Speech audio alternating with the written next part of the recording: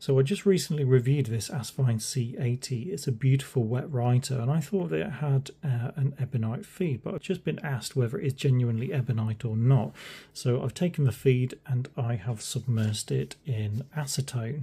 I don't recommend that you do this at home to any of your pens, particularly ones that you care about.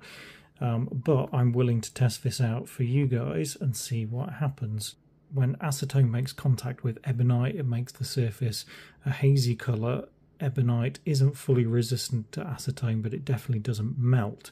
Now, plastic, on the other hand, the type generally used for feeds, goes very tacky and does start to melt. And if I start to see this coming off on my fingers, which I think I can, then this absolutely is not ebonite there you go. There you have it.